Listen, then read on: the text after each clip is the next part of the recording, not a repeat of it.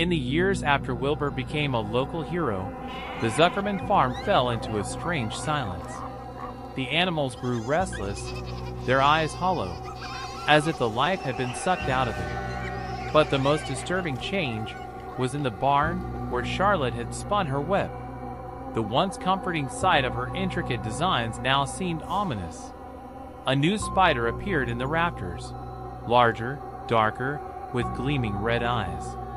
Its spawn webs thicker than Charlotte's, sticky with a substance that seemed to pulse as if alive.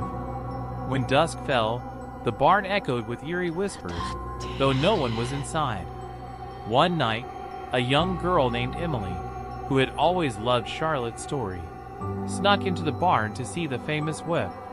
She found it in tatters, overgrown with the sinister new spider's creation.